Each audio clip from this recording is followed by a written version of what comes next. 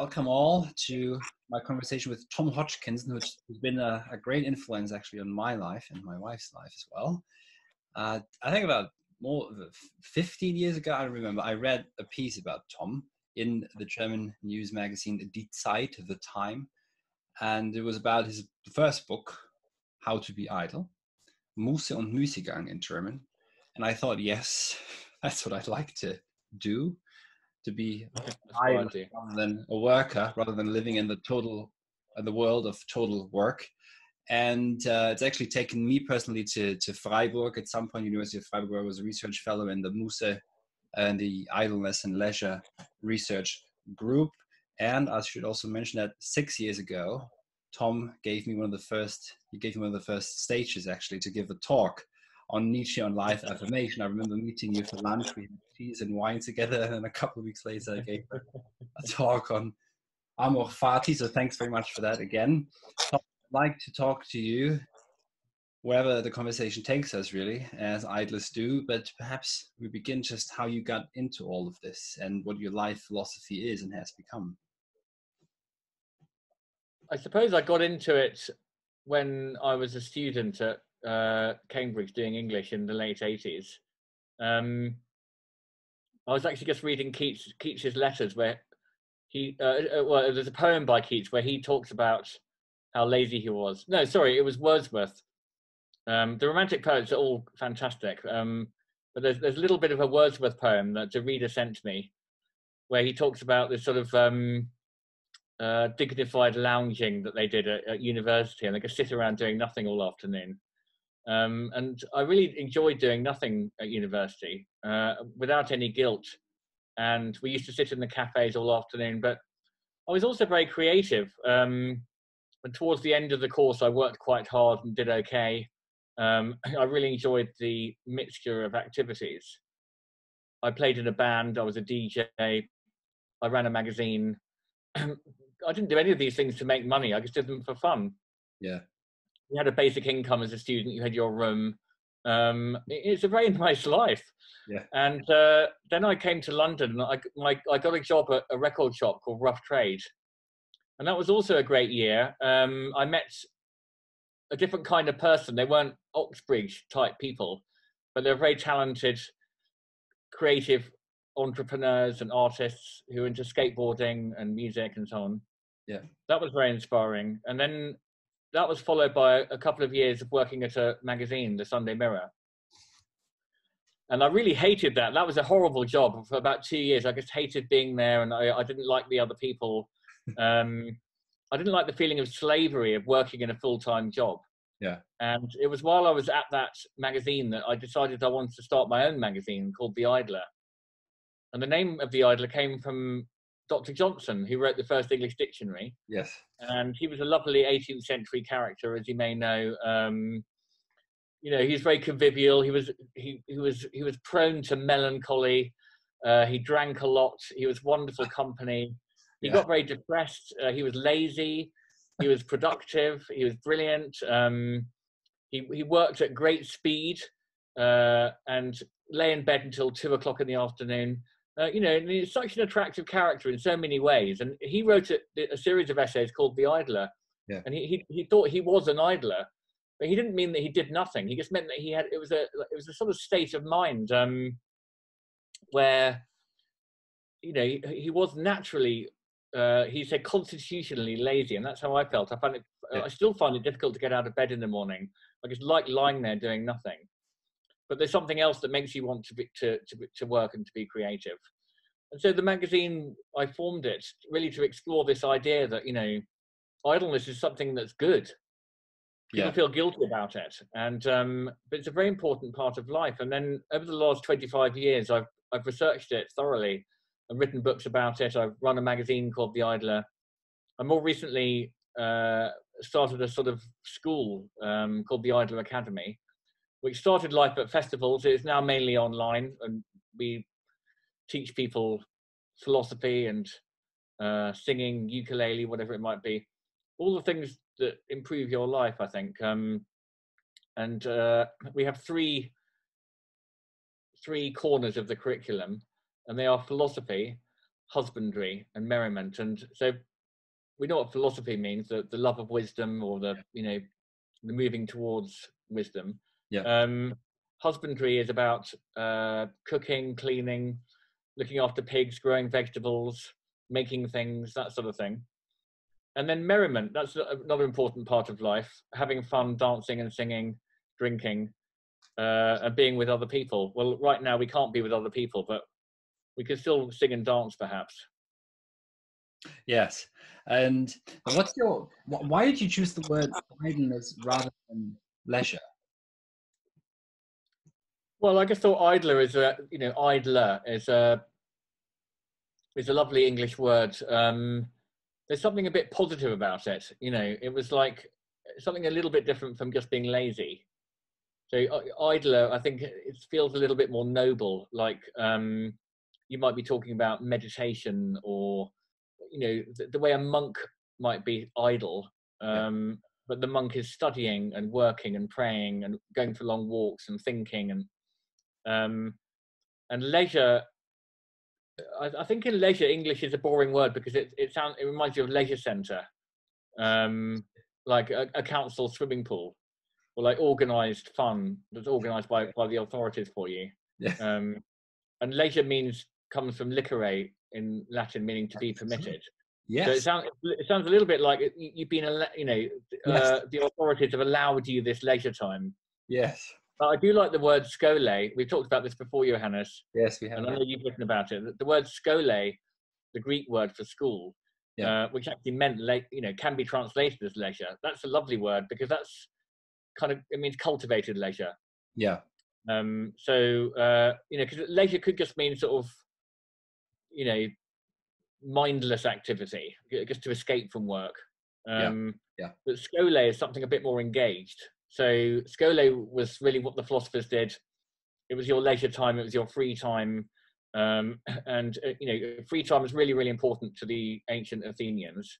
Yes. Because that's where you could really live. And so work was a means to an end. Work um, earned you money to buy the free time during which you became who you were, or you became a philosopher, or you attempted to develop a good life.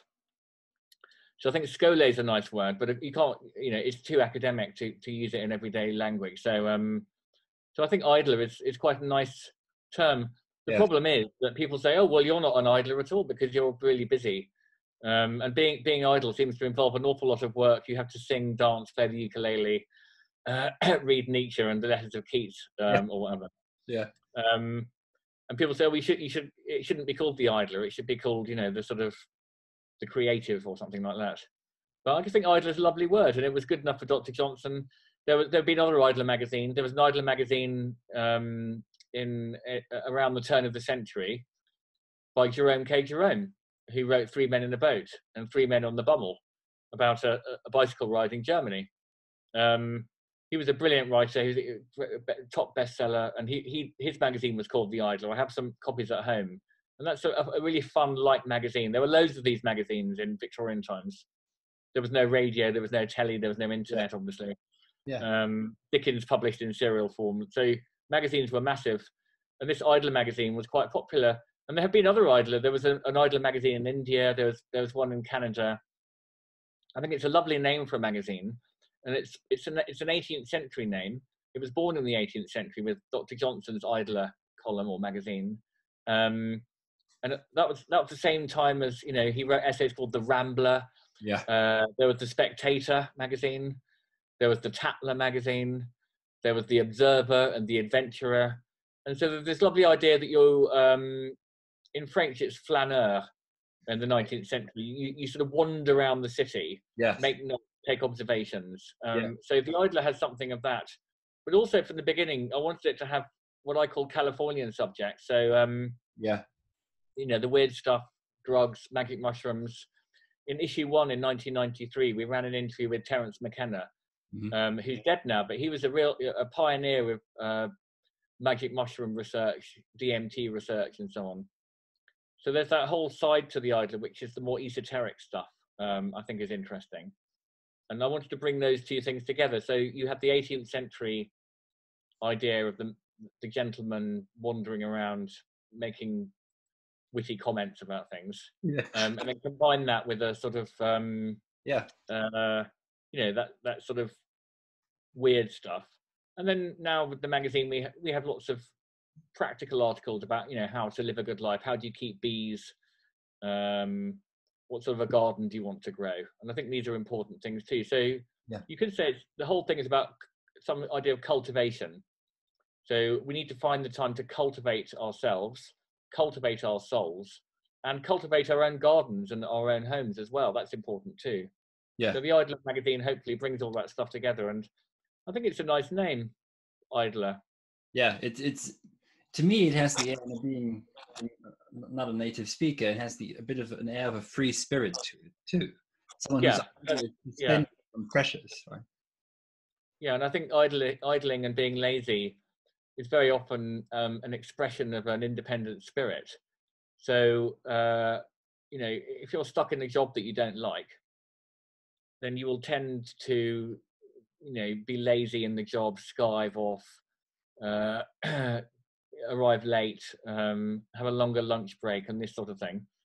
Um, but that doesn't necessarily mean you're lazy. It just means you're doing the wrong thing. So, uh, you know, like a musician, if you if you find what you want to do, you can practice all, all day long, um, and it's not really work.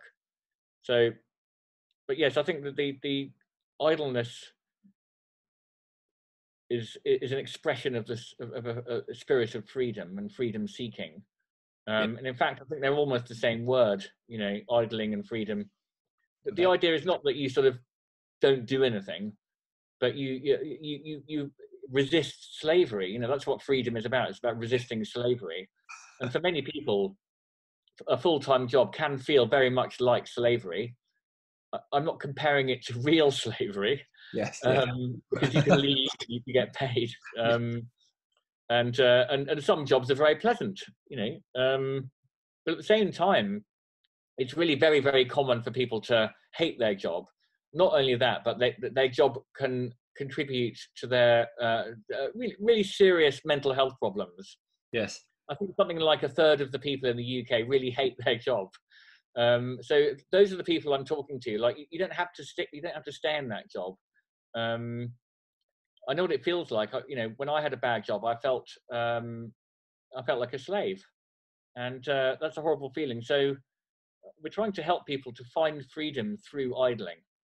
Yes, and when you say you know resist slavery, of course that is rem- reminiscent of Nietzsche's slave morality. Right, this is Yeah, something that's right. Yeah. that we, we, you rather choose to be uh, of the master morality and taking risk in your own hand and things in your own hand rather than Yeah, I think that's right. And I think people misunderstand Nietzsche because I- I think what I would take from that is is, is that anybody can have a master morality. Um, he didn't like Christianity because he felt that it encouraged a kind of abject submission to authority. Um, but there's there's other you know Christianity doesn't have to mean that. Um, in fact, originally Christ- Christianity was all about some kind of uh, freedom, but combined with compassion. So the problem with Nietzsche, or at least the problem that people have with Nietzsche, or their understanding of Nietzsche, is that his philosophy feels like it lacks in compassion. Um, get out of my way. I'm I'm I'm I'm a Ubermensch or whatever. Um, but actually, I think it's about um, it's about taking responsibility for yourself, um, and it's basically about not moaning. You know, um, oh no, poor me. Everything's you know everything's my. Uh, you know, he's really against self pity, isn't he? yes um, and I think that, and that's, and also he, he's, you know, I quoted one of my books, a really lovely passage. I can't remember which book it comes from, but it's about, um, uh, it's about how, how people work too hard, you know, and he saw hard work as part of that slavish morality too. Um, hard work for money or hard work for your boss or status or whatever. He Yeah. felt that was a kind of mark of uh, someone a bit slavish. And he said, like, you know, in the old days, the the noble people were embarrassed to admit that they worked. And he said otium and bellum. That's what the ancients were uh, interested in. Yes Leisure and war. so okay, I, I'll take out the bellum bit, but um, you know, and so so he, my idea is that everybody can access the life of a of an uh, of otium yeah or you know skole. Um, we get criticised because it's like, well, it's all right for you with your Cambridge education, and you know, um, we can't all, you know, we can't all be idlers. Um, but I think we can all be idlers, at least a little bit. Um, you can be an idler while having a full-time job because you can think, well, okay, this job is not me personally. I, you know, yeah, it's not stressful. Um, I mean, the, the, more menial jobs like um, I don't know, like a scaffold, being a scaffolder or something like that. You know, the, the, the, uh, the dustmen, they don't think they're going to find meaning from their job. It's just, uh, you know, it's a way to earn some money and they have a life outside of that. You know, um, I think that's that's a, a, completely sort of reasonable way of, of working um, and living. In, in my case, I, have kind of, in a way, prostituted my talents because I, have sort of taken my the things I like doing um, and made those into some sort of a living and an income. Yeah, yeah. That's another way of doing it. Um, and you know, I've got friends who, uh, a friend who is an accountant. Um, okay, he doesn't talk about his job. It, it's not like he finds fulfillment particularly, but he he doesn't mind it. And he goes into and my accountants are saying that they, they go into work, they do they do their accounting, they help people, they earn some money, and they have this life outside of that. Um, so um, there are those people who are fine in their jobs and they can be an idler outside. Then there's the people who really really hate their jobs. Well, that, that's bad, you know. Um, yeah. And then then there are the creative people the small business people, the freelancers, yes, um, you know, the sort of semi-academics and that category of person. And th- there's a lot of those people. Um, that's probably our main, my main audience. It's people who are like, hang on, you know, I don't like this system. I want to, I want to create my own life. And I think that's, that's what I take from Nietzsche. To go yeah. back to the original question, is that um, Nietzsche was saying, you know, like live, live well, you know, um, live, live intensely, um, don't give up, uh, don't complain, don't moan. You can change your own life, sort of thing. Um, so, so you know, take take the take the reins of your life, and if you don't like it, then it's up to you to change it. Uh, and that's a very inspiring philosophy. The only problem with that, as I said, is it, it can. Um, well, I think there's two problems. One, um, it can uh, it can lead to sort of selfishness of, of a sort of Boris Johnson sort of type.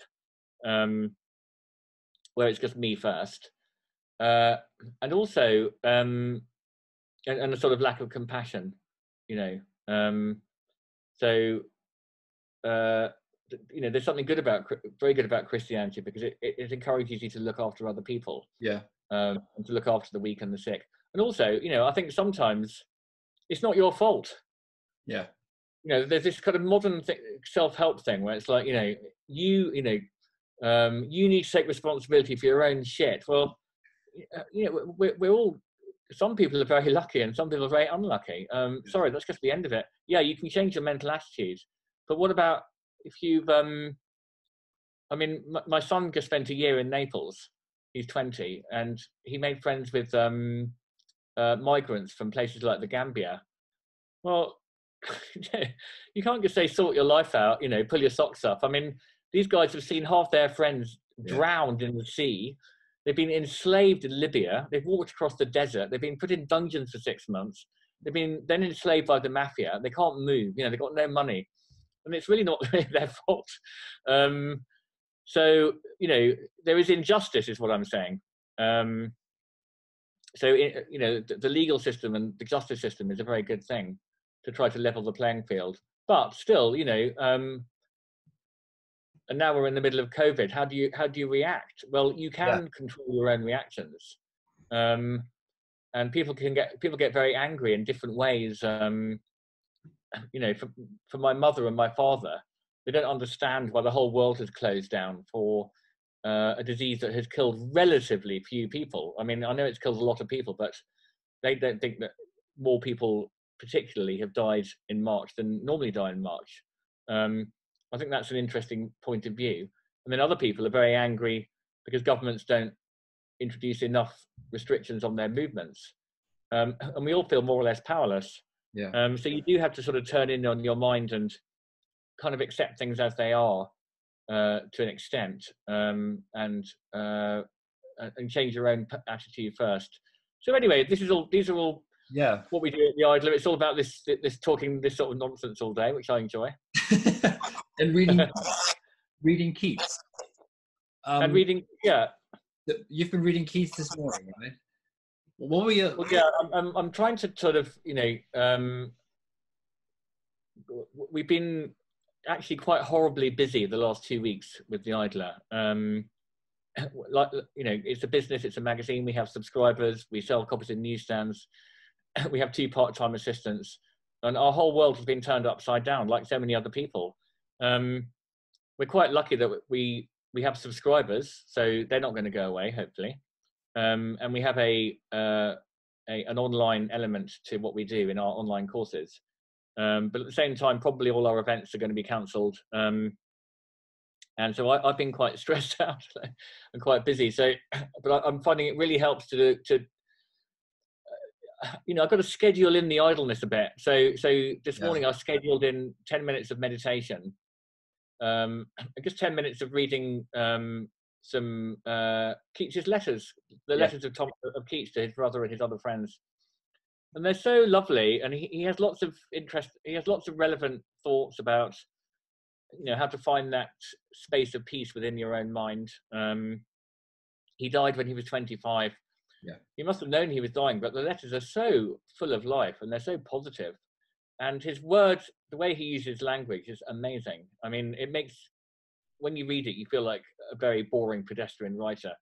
He has such a light touch, um, very playful, uh, lots of parodies, lots of jokes, lots of puns. Um, probably we don't get half the jokes today because it was written in 1820 or something. Yeah. Um, so that's been really, really nice. And um, and Keats himself says, you know, uh, you could pass a very nice day just by reading uh, a few lines of poetry, like six lines of poetry, Yeah. um, in the morning, and just letting that stuff, you know, rebound around your head. And so at lunchtime, when I, I had my sandwich in my office, um, where I am on my own, yeah. um, I read a bit of his letters, um, and then he, he had these poems within the letters.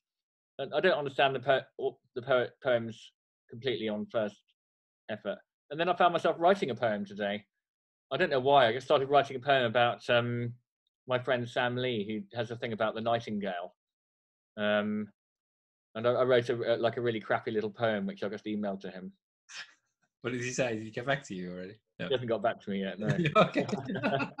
he's not answering his emails. He's quite idle, I think. okay. I mean, but this is a time where people have to learn to be idle. One of the sad phenomena of our age is that people spend their leisure where they're licensed to have free time binge watching Netflix, for example, yeah. which I sometimes refer to as a death machine. It kills you from the inside out, slowly and It really does. Yeah. We're, Sucks we're out your life. Uh, and I you pay for it. them. You, you pay that thing to kill you slowly and Uh. Yeah, I'd like to get rid of it. It's so violent. Um, we're watching. I mean, they're very good. We're watching something called Sneaky Pete. Um, it's it's just so horrible. I mean, it's all the negative. It's it's a bit like Breaking Bad. It's all the like negative emotions, greed, lust, anger. You know, it's, it's like all the seven deadly sins rolled into one. Um, but then you know i sort of think well you know i used to enjoy i, I could i you know maybe like dr faustus and shakespeare they were, they were the kind of netflix of their day in a way. Um a greek tragedy you know the, the greeks went to see these awful uh, tra- tragic plays um like 50000 people going to the theater so i think there is something in people that like and there's tarantino you know it's it's it's um what's the word johannes when you experience something through somebody else um Vicar- vicariously? uh not No. yeah vicariously but it, it's the it's the sort of uh, what drama does to you um it sort of gets rid of these emotions in a harmless way catharsis? um, sorry Cathartic? Cathar- yeah catharsis exactly so Yeah, there- there- yeah. there- i think there is some catharsis in it um uh yeah, you, you know but you've got to read keats as well i think um but yes right now people need to be taught how to be idle because it's it's actually quite a difficult thing to do you know Where should I mean, one there's so much start? work Yeah, where should, where should one start? Or how should one start? Well, I think you start by by thinking, okay, it's, firstly, you've got to tell yourself it, it's a really good idea to be idle. Um, Yeah. It's good for your mental health and it's good for your physical health. Um, and you need to sleep more and spend more time doing nothing because people feel guilty. Yeah. So over over the years, what people say to me again and again, well, you know, I'd like to be idle, but I feel so guilty when I'm doing nothing. And I say, well, that's you know, the guilt is man-made. In fact, I get that from Nietzsche because Nietzsche says guilt is from the word gilda, a feeling of de- indebtedness. Yeah. Um, and lots of people don't feel it. Lots of cultures around the world today, and lots of cultures in the past, did not feel guilty about idling. You know, so that to me just simply proves that it's something that's conditioned by society. So I think that step number one is remove that guilt. You know, that you need to be idle. It's good for you to be idle. Like work work harder at being idle. Um, make that idling time because you know it, it's it, it's a responsibility to yourself and it's a responsibility to other people. Um, if I don't get enough idling time, then I become grumpy and aggressive and angry and so on. Um, that's not good for the people I work with and my family. So th- there's a okay, but we're so busy; it's hard to be idle. Yeah. At least now with coronavirus, there, we do at least have some more time. I mean, it's incredibly difficult because you know our, our mental states are woo all over the place. I mean, what you know, happy and sad. Like one day I'm like, this is great. I've got loads of time. I can bicycle around the city, and then the next day I'm like, I want to kill myself. I like life how it was before. It was so good before. Can't we go back to that? Um, my mother is so depressed. You know, I can't go and visit her, and uh, my in-laws are miserable, and we can't go and see them. Um, my children are like Hitler Youth of like communist China, and sort of watching me just slipping up. Well, you haven't washed your hands, you know. Um, I, I want to go and see Granny Liz. You can't go and see Granny Liz. Haven't you heard about coronavirus? Um, so they think I'm not doing enough to protect myself. Um, so it's a horrible situation. You can't, you know, you can't go and see your friends. Yeah. Uh, so that's very, it's very difficult. I know that, um, but at the same time, yeah, there is this time at least. Um, for you know, I'm, I'm reading Dickens as well. Uh, Mm. wa- Yeah. walk around a little bit more. Yes. Night walks. Wonderful text. It's just yeah, you know, so Yeah, there, there, there there is there is an opportunity yeah. idle, and then also you know lots of people are saying there's an opportunity to um uh discover the anarchist principles of life, which I try to adhere to, which is about community, um, compassion, and helping each other. So this, there is this neighborliness.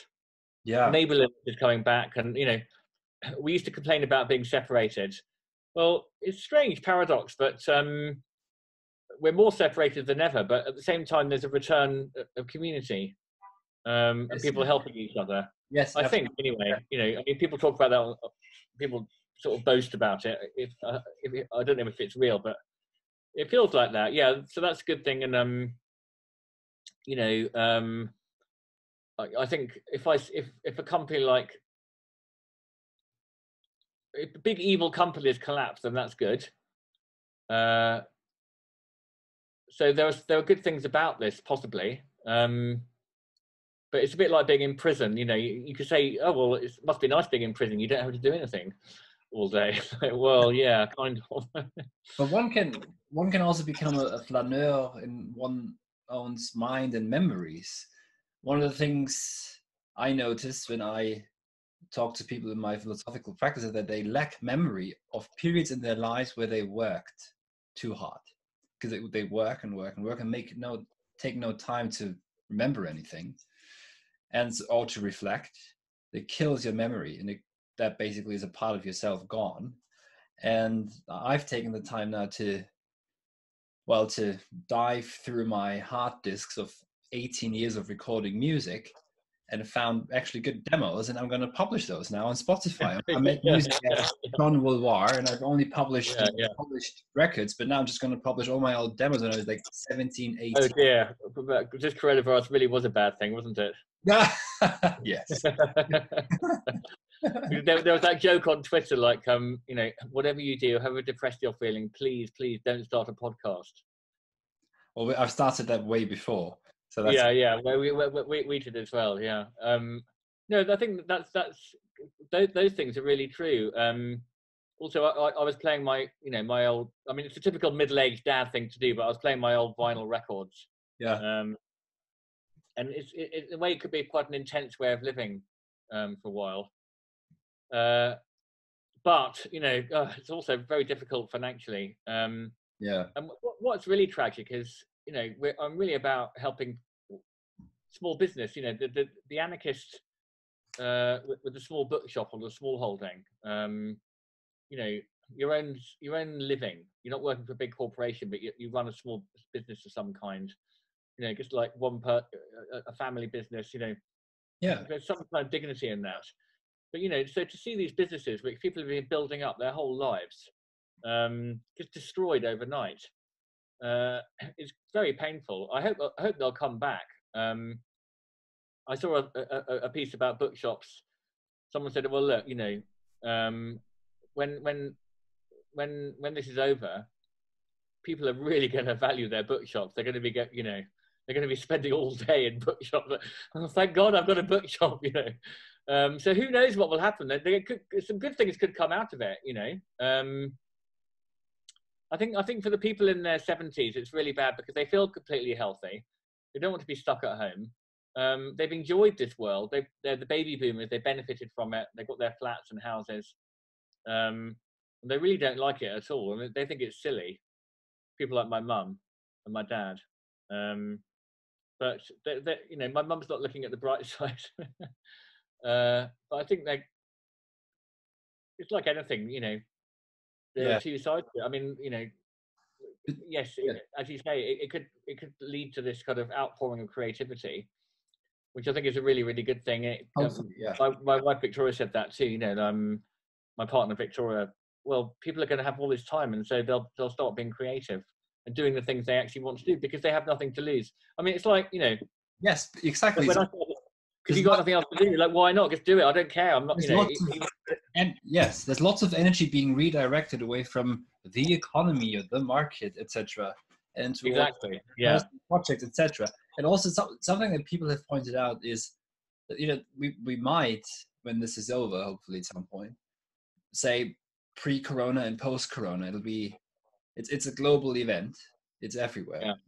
And it it uh, probably it will change how people think of themselves in life. I think it will. You're right. I mean, I feel like we're on day day twelve, day thirteen of a new world. Um, you know, everything's different, and we've got different attitudes. Nothing's actually changed. I mean, they're, they're, they're the same number of atoms in the world, the same number of people, the same amount of food, maybe a tiny number of, uh, you know, slightly more people are getting ill. It's not actually like a world war where millions of, of boys were dying. Um, so it's really weird, like a massive uh, global mindset adjustment.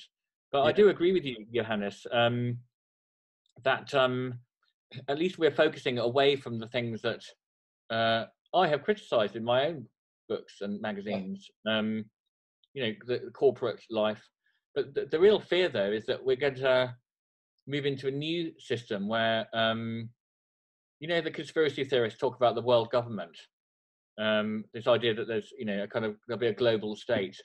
Well, that's not so far away. Facebook is like a, a, a global organization um, that everyone's part of, and so is Amazon. Um, well, Jeff Bezos of Amazon is so ambitious. You know, he, he, he'll never stop growing his company until he's actually king of the entire world. Um, Amazon could do really well out of this and become much, much bigger. And then we all have to work for Amazon instead of running our own pub. So that's my real worry. Um, and, and governments, you know, Naomi Klein's shock doctrine. Um, this is how dystopias start, like Nazi Germany. Please, please, uh, you know, please um, uh, control my behavior more. Don't let me go to the park. That's mad, you know. Don't let me go for a walk. I want to see more police on the streets.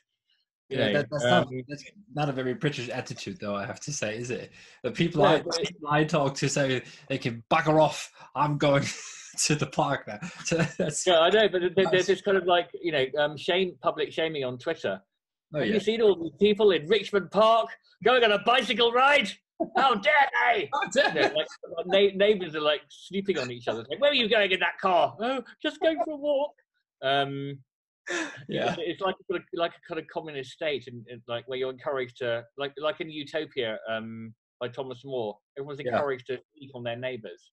Yeah. Um, Yeah. and this is how dystopia starts. So, uh, you know, a massive increase of state power is happening. That could, that, Um, could- that could I- be. I feel- yeah. Well, I, sorry, I was just going to say, uh, actually, Boris is a is a libertarian. I feel quite lucky that I Yeah. mean, uh, I'm by nature uh, either a, a nothing voter or a Labour voter. Yeah. Um, but having said that, you know, um, you can sort of imagine Jeremy Corbyn thinking, "This is great. I'm, you know, I'm going to be like a sort of Lenin. Uh, I'm going to expand the power of the state. Everyone will be working for the state. Everything will be nationalised. Everyone will be a state servant, and all literature will be nationalised. And you know, everyone will have to kind of wear a blue cap and a uniform and you know go, go work for the collective in the factory and there'll be no individuality at all so Yeah. at, at least um boris has got a kind of got, got a kind of libertarian attitude um Yes. but he, he's, he's being asked by the people to expand the power of the state He doesn't. He doesn't, it doesn't seem like he wants to, right? He said several times, "This is something no prime minister wants to do." yeah that's right Shut down. I, I, I think that's good. You know, I mean, Yep. you know, um, I, I, I'm like I said, I'm I'm I'm sort of a Boris hater, really. Uh, but I must say, over the last, I, I, he, he's so clever. I think he's just manipulating me. Yeah. Um, so he's just manipulating people like me into liking him. but if Um, so I'm just a victim of his of his kind of superior yeah, uh, manipulative skills. Um, that, that's how I feel at the moment. I'll, I'll probably change my Yeah. mind, but anyway, and this is when uh, authorita- authoritarian systems, um, you know, move in. And in the shock doctrine, Naomi Klein, you know, she, she gives lots of examples of uh, where a, a, a- state in collusion with the free market will give its system this massive shock. Um, after that, it's very easy to for them to do what they want in terms of like opening a new McDonald's or you know whatever it is. I don't know, like lending money at ridiculous in, rates of interest. It's like, please lend me money, please, please, can I borrow money? I'll give you anything, you know. Uh, okay, but it's going to be 19% interest. That's great. Thank you, thank you, sir. Thank you. Um, so you know the the, the money lenders, um, Amazon, governments, maybe they'll they'll be more powerful, or maybe as you say, um, there'll be a kind of new, you know, outpouring of creativity. I- Who I knows? see, I see all of these issues, and I, I, more of them. I mean, in, in Heideggerian terms, one could say it's almost like a titanic battle between what he calls enframing, the power of technology, and certain cracks in the system too. And of course, Yeah. the trouble is when the system reinforces itself. But I'd like to envision a very different world where otium cum dignitate, right? Leisure is again the base, as Josef Pieper says, is the basis of civilization and culture and that's something people like you and I and others should perhaps think towards to speak like that Yeah. philosophically. And so, if you could perhaps envision the world, what, what it could and should look like after this, in, in your wildest dreams. Well, in wildest dreams, I suppose that the dreams I've set out in the books I've already written um, something like what I alluded to earlier. I mean, I think some measure of actually, I think you can find fr- freedom in frugality. Um, so a, a- sort of mental attitude which is a little bit less dependent on money. Um, I'm not saying it's good to be poor, like um, I think once you go below a certain income, life is, is very, very miserable uh, because you only think about money. Um, so I'm not saying that everyone should be like St. Francis of Assisi and throw away all their money and, you know, live in rags. Um, but some measure of, you know, control over one's household, I think is a good idea um, to be sensible about the, the money that's coming in and out and to, to be in control and to be not in debt um, to the bank. Um, to keep your outgoings to live within your means, and then to find um, a a way of living that you feel is positive. So that could be, you know, I mean, I think it's obvious that um, the the delivery drivers, the, the nurses, um, and the social workers, um, the dust the dustmen. Uh, you know, these are the people who are actually, you know, they have they they're useful people, and it's nice to feel useful, like you're doing something useful. Um, but also, you want to be creative. I think everybody is a philosopher and an artist as well. So you want to have, as you say, you want to have that time for otium, yeah, to develop um, your philosophical nature and your creative nature, and create. You know, you could be creative just in uh, cooking or the garden or decorating the house, or you know, it doesn't mean that you have to be writing poetry all day long, uh, being creative. Um, lots of time for fun um, and singing. Uh, I think the main thing that makes people depressed, you know, is to escape from from depression and to escape from this feeling of slavery. Uh, is the ultimate goal. Um, yeah. And that could look very different to different people. So, you know, you don't really want to kind of present a list of. No, no, no. Um, I mean, we we can all imagine our own utopia. You Yeah. know, I, um, I don't know. You know, sort of free love, sex, drugs, rock and roll. I don't know. You know, but that doesn't really get you anywhere, and also it's stable. Um, so but uh, you know, I think I think you can. It's like William Morris said. You you can imagine people having little gardens, um, having plenty of free time uh, to, to go out into nature, um, to yes, to worship. Um, hmm you know, at least religion does bring people otium Mhm. or a, di- a different Yes. view of Mhm. a, a relaxing of the work ethic. You know, uh, we've been dominated by the work ethic Yes. uh, since the certainly since the late uh, um, 18th century. Yeah. With people like Adam Smith and Jeremy Bentham, and even before that, and- and during the Reformation, there was a shift. You know, I, I'm not. You know, if you look at medieval society, people worked. Yeah, people were, work very hard. It was incredibly creative. I mean, it's probably the one of the most creative. If you look at, um, well, just think about, I don't know, Cologne, Venice, you know, um, Florence, Paris, London. I mean, th- these are these are medieval cities. They they come from the medieval imagination, um, and the medieval art and the medieval buildings were incredibly beautiful, much more beautiful than much much of modern architecture. Much more fun, anyway, yes. um, and more varied, and, and lots of people were involved in the creation. So. I, I like medieval values, you know. I don't mean uh, like torturing and you know medieval, medieval values were about community. Um, They were quite hostile to the bankers. Um, there were bankers, obviously, Medici's and so on. Um, but there was, you know, um, yes, I know it became corrupt and everything. Um, Calvin and Luther came in, but Calvin and Luther are like quite joyless um, monks. Uh, and some of that tough, brutal work ethic um, is there. It's, it's very much there in America. It's it's in lots of parts of Europe as well. Perhaps less in Southern Europe, but it's it's definitely there. Um, so I'd like to see people changing their mind about that system that we've had in place since the Industrial Revolution. Really, you know, go to the factory, work hard for your boss, come home, watch Netflix, as you say. You know, suck up the data stream that uh, is kind of thrown at you and kind of brief attempt to escape from your misery. Yeah. You know, they go into debt, all that sort of thing. I mean, people have been complaining about this forever. You know, like the, the romantic poets, punk. The punk movement was all about about this. You know. Yeah. Do you, do you do you want to live? Do you want to have a boring job or a bullshit job or a crap job? You know, do, something with your life. Um, so obviously, I would hope that those, those that that you know the anarchic principle would would come out, um, and the enslaving principle would would die down. But who knows? It might go the other way. Hopefully. I mean, Hopefully. hopefully, hopefully we'll come closer to what you're envisioning. And I'm, I've been speaking about a coming renaissance. Of course, I can't see the future, but I'd like to see it coming. It would be good. Yes, it would be good.